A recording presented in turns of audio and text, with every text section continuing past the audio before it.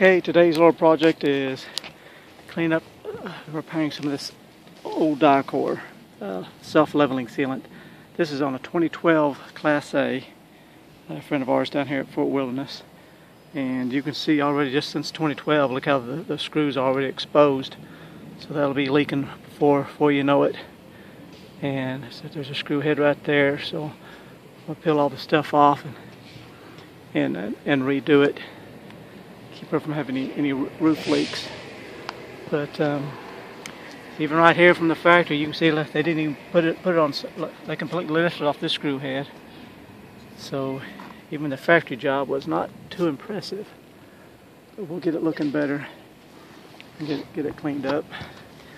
Some of them look pretty. Uh, yeah, they see you can see the cracking like like that already. It's not good. So I got me some alcohol and stiff brush. We'll do some cleaning and and see what we can get this looking like. I told you wrong. This is actually a fifth wheel, not a Class A. I think I said Class A earlier. But let's look how, I can't believe it's not already been leaking, but look at that gap right there. So we're going to get all that fixed up better. I took some alcohol in the brush and brushed it off some to expose these screw head. Get it good and clean and put us a, a, a reseal on it. Keep her from leaking. Okay, here we are at the skylight, and you, as it was cleaning and scrubbing, most every one of these just peeled right off, exposed all the screw heads. So we'll get that sealed up. I don't know if it's the Florida sun that made these things come off so easy, or if it's just the fact that, uh, I don't know, maybe it wasn't done, done very well.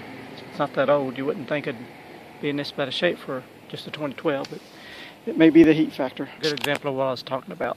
See, they look fine to look at them, but look, you just peel right back. The he heads are ex exposed, so that'll soon be a leak. So we'll peel peel these off and and completely reseal them, get them in better shape. So here's how I've been doing this. Take a little alcohol, sprinkle it on here, because it dries good brush, brush it well.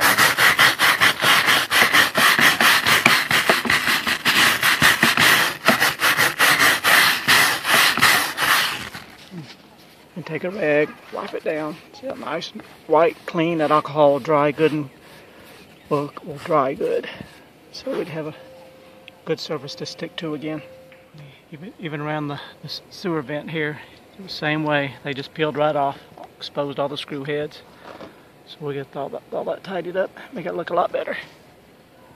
Okay, here we go. Doing it left-handed, just to show you. Fill up these, top off these screw heads. And it should keep the water out. Get her in good shape. Let that dry and it'll settle.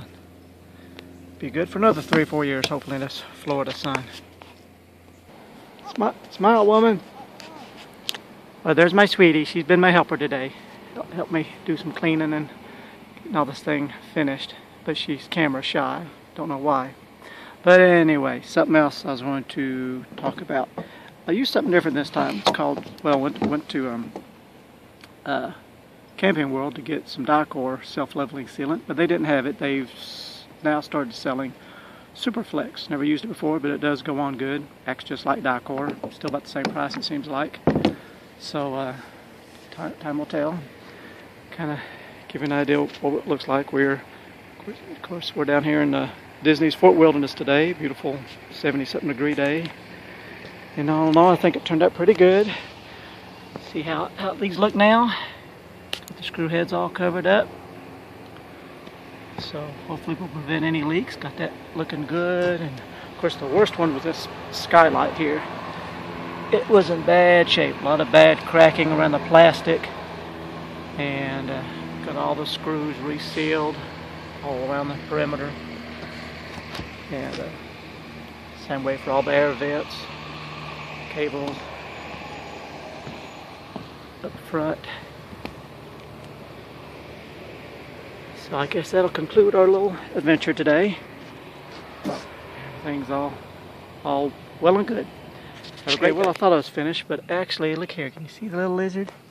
Hello, oh, lizard. another one. There's another one? Like, Yeah, he just right here. It must right like sitting on air conditioners. Oh, yeah, yeah, they nope, coming this way. run around. But anyways, uh, There. I thought I was finished, but I'm not. Look at this air conditioner. That thing is filthy. Look at there. Stopped up. This, golly, it's awful. So, um, this fifth wheel has three air units. So um, while I'm up here, I'm going to get them all cleaned up for her, because they are a mess. Alright.